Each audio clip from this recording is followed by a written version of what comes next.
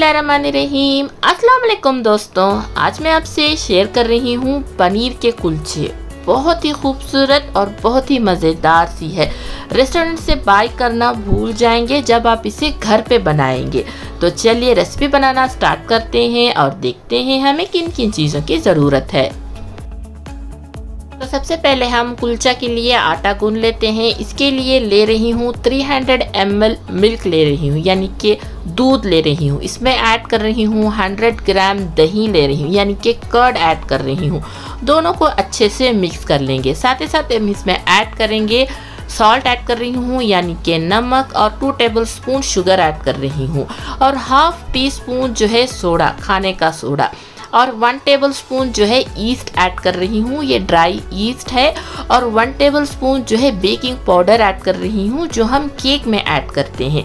सारी चीज़ों को ऐड करके अच्छी तरह से हम मिक्स कर लेंगे ताकि सारा जो है अच्छे से मिक्सड हो जाए, अच्छे से घुल जाए। आप चाहे तो इसे थोड़ा रेस्ट रख सकते हैं एक दस मिनट के लिए या यूँ ही भी जो है साथ ही साथ आप इसमें आटा ऐड करके गूंदते भी जा सकते हैं। देखिए, मैंने जो है इसे पाँच मिनट के लिए रेस्ट में रखा, छाक भी अच्छे से आ गया है।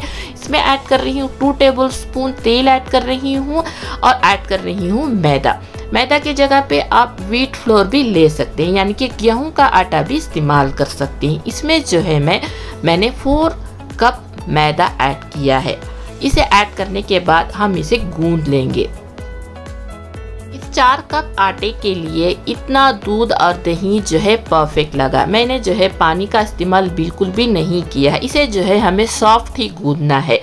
थोड़ा सा तेल भी मैं ऐड करके जो है ऊपर से अप्लाई कर लूँगी ताकि ये ऊपर का जो लेयर है वो सूख ना जाए। इसे जो है हम आधे घंटे के लिए या 40 मिनट के लिए रेस्ट में रख देंगे फर्मेंटेशन के लिए। तो तब तक जो है हम बाकी तैयारी कर लेते हैं। कुलचा के लिए साथ में बना रही हूँ खट्टी मीठी चटनी। इसके लिए ले रही हूँ अमली का पल्प। इमली का पल्प जिसका पानी ले रही हूँ। इसमें ऐड कर रही हूँ दो प्याज, जिसे बारीक चॉप कर लिया था, और एक आलू, जिसको मैंने बॉईल कर लिया है और अच्छे से मैश कर लिया है। आलू से जो है इसमें थिकनेस आ जाएगा इस चटनी में। हाफ़ टी स्पून काला नमक ऐड कर रही हूँ। दो हरी मिर्च जिसे बारीक चॉप कर लिया था। आधा स्पून लाल मिर्च पाउडर और थोड़ा सा जो है इसमें अदरक ग्रेट करके ऐड कर रही हूँ। और थोड़ा सा इसमें गरम मसाला ले रही हूँ। जितना हो सके उतना जो है आप हाथों से इसे मिक्स कर लीजिएगा। थोड़ा सा मैंने इसमें नमक भी ऐड किया है, सफ़ेद नमक, क्योंकि मैंने पहले काला नमक ऐड किया था, फिर सफ़ेद नमक।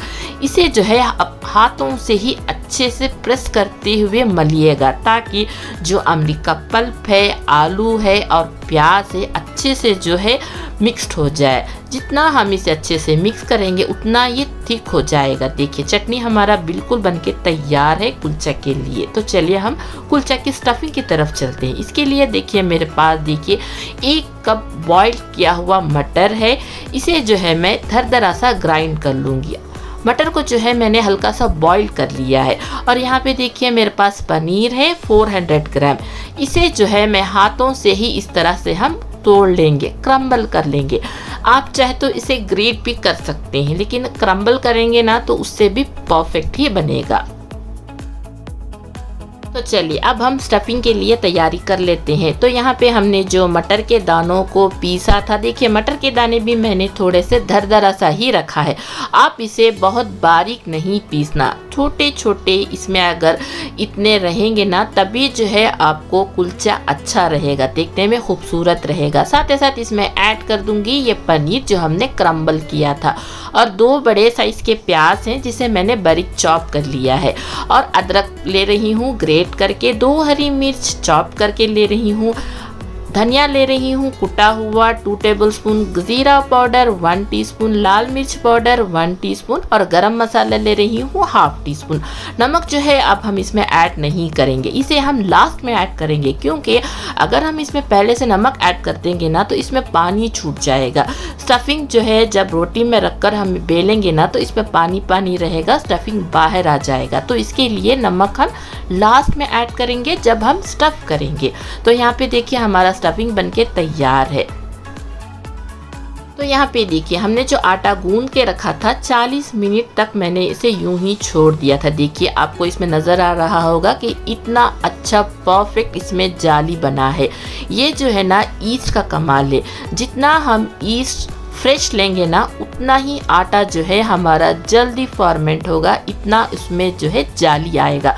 अगर हम ईस्ट पुराना ले लेंगे ना तो उतना जो है परफेक्ट नहीं आएगा रिज़ल्ट उतना अच्छा नहीं आएगा। बस फ्रेश रहेगा तो 30 मिनट्स 40 मिनट्स में जो है ये बन के तैयार हो जाएगा। अब मैं देखिए छोटे छोटे जितना आपको लोई का साइज़ चाहिए, रोटी का साइज़ चाहिए, उसके हिसाब से जो है आप आटा ले लीजिएगा।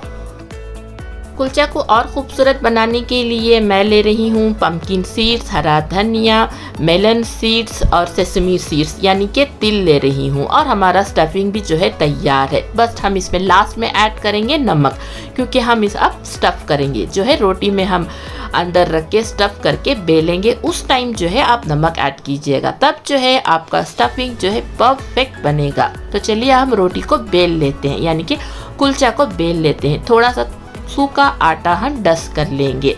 फिर जो है हम बेल लेंगे। थोड़ा सा हाथों से शेप दे के आप इसे बेल लीजिएगा। आप सिर्फ़ हथेली में रख के भी इसे स्टफिंग कर सकते हैं। जितना आपको इसमें स्टफिंग चाहिए, उसके हिसाब से जो है आप इसमें स्टफ़ कर सकते हैं। Three tablespoon four tablespoon या टू टेबल स्पून डिपेंड होता है आप पर। लेकिन जितना हम इसमें अच्छा स्टफ़ करेंगे ना, उतना ही कुलचा ज़बरदस्त बनेगा। ऊपर से मैं लास्ट में स्प्रिंकल कर रही हूँ, थोड़ा सा सूखा आटा। इस आटे से क्या होगा? स्टफिंग अगर उसमें पानी भी छोड़ेगा ना तो ये सूखा आटा जो है, इसमें अच्छे से उस पानी को जो है स्टफ़ कर लेगा। आपका जो है, कुलचा टूटेगा नहीं, अंदर का स्टफिंग जो है, पानी नहीं छोड़ेगा। तो इसके लिए सूखा आटा डस्ट करना बहुत ज़रूरी है। ये आपको एक टिप्स है। इस तरह से अगर आप बनाएँगे ना तो परफेक्ट बनेगा। इस तरह से स्टफ़ करके फिर से मैं इसे पाँच मिनट के लिए इसे हम यूँ ही छोड़ देंगे। देखिए, पाँच मिनट बाद देखिए हम इसे बेल लेंगे। इसका साइज़ भी आप देखेंगे, थोड़ा बड़ा हो गया है। अब मैं इसे सूखा आटा डस्ट करके बेल लेंगे।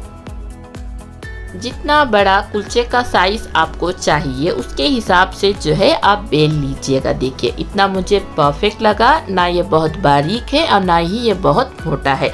हाथों में थोड़ा सा पानी लगा के इसमें रोटी में जो है, हम अच्छे से पानी को लगा लेंगे। फिर जो हमारे पास ये मेलन सीड्स है पम्पकिन सीड्स है और सेसमी सीड्स है, यानी कि तिल है, काला तिल का इस्तेमाल कर रही हूँ। जो भी चाहो ना, आप किसी एक चीज़ का भी इस्तेमाल कर सकते हैं। ऐसा नहीं कि जो मैं यूज़ कर रही हूँ, जो इस्तेमाल कर रही हूँ, आपको भी यही करना है। आप सिर्फ़ तिल का भी इस्तेमाल कर सकते हैं या हरा धनिया का भी इस्तेमाल कर सकते हैं। अब देखिए, अच्छे से ये बन गया है। इसमें फिक्स्ड हो गया है तो यहाँ पे मैंने तवे को गरम कर लिया है। अब जो है हम इसे सेक लेंगे। रोटी हो या पराठे हो या इस तरह के कुलचे हो, इसे जो है हमें हाई फ्लेम पे ही हमें इसे कुक करेंगे। इसे जो है उलट पलट करते हुए पूरी तरह से कुक होने तक जो है हम इसे पका लेंगे। आप चाहे तो इसमें तेल का भी इस्तेमाल कर सकते हैं या बटर या घी का भी इस्तेमाल कर सकते हैं। मैं जो है बटर का इस्तेमाल कर रही हूँ क्योंकि कुलचा में जो है बटर बहुत मज़ेदार लगता है। तो हमारा कुलचा तो बनके तैयार है। इसी तरह से फिर से जो है मैं कुलचा बना लूँगी। देखिए, जितना आपको ऊपर से इसकी डेकोरेशन करना चाहते हैं ना तो उतना अच्छा जो है आप इसकी गार्निशिंग कर सकते हो। आप सिर्फ़ हरा धनिया भी ले सकते हो या सिर्फ़ सेसमी सीड्स यानी तिल का भी इस्तेमाल कर सकते हो या मेलन सीड्स का भी इस्तेमाल कर सकते हो। यहाँ तक जो है आप इसमें जो है क्लोंजी भी आप इसमें स्प्रिंकल कर सकते हैं। तो चलिए गर्मा गर्म हम इसे सर्व करते हैं इमली की खट्टी मीठी चटनी के साथ। ये जो चटनी है ना, बहुत स्पेशल है कुलचा के लिए। ख़ास कर इसे जो है पंजाब, अमृतसर में जो है इस चटनी के साथ ही इसे सर्व किया जाता है। इसे जो है आप ज़रूर से इसके साथ बनाइएगा। बहुत ही मज़ेदार और बहुत ही ज़बरदस्त लगा मुझे इस चटनी के साथ। तो चलिए अब मैं इस वीडियो को मैं यहीं पे करती हूँ। आप मुझे दीजिएगा इजाज़त। टिल देन अल्लाह निगेबान।